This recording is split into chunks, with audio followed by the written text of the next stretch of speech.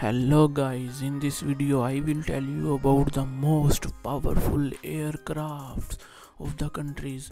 Do not forget to like subscribe and share.